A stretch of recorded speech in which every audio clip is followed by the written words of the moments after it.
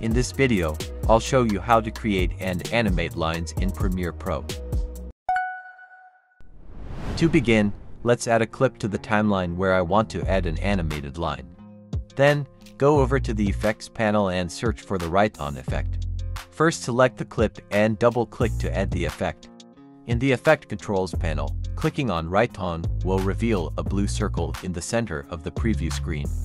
Let's move this circle to the left side, which will be the starting position of our line.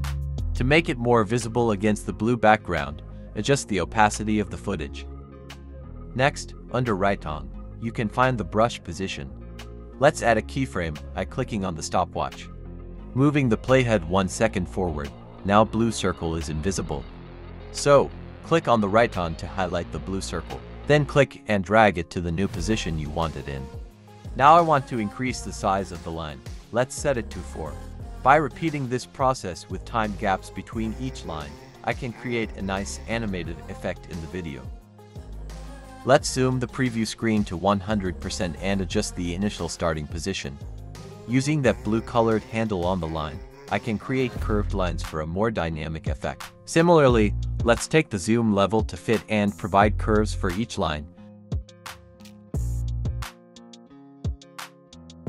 Now if we play it back, we can see we have a nice animated line in our video. If you want to change the line to a plain one, you can adjust the brush spacing under Write-On and set the value to 0. But I want to keep dotted lines with little more spacing, so let me increase the value. At the beginning and end of each line, let's provide this location marker. You can make the necessary adjustments. Let's hold Alt or Option key and drag to duplicate layer. We need to make the necessary adjustments, and the process is repeated till the end.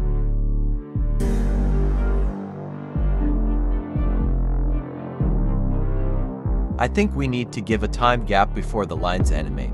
I will adjust the position of the layers and keyframes accordingly. The pen tool can also be used to create and animate lines.